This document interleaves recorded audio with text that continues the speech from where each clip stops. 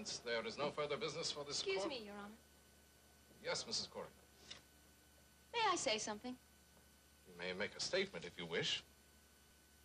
I'd like to make an announcement. Sandy Cory cannot have custody of Maggie. Because he is not Maggie's father.